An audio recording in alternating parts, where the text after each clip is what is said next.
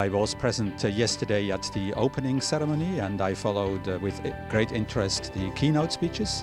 They were quite uh, of, of, substance. Uh, they uh, um, showed us uh, what today the humanitarian challenges are, the challenges in catastrophes, in wars, in violence, and um, also the shift um, from the donors and those who support this um, action a little bit from the traditional donors, uh, Europe, America and the West, towards the emerging or the emerged uh, new powers. Um, that was quite interesting for me.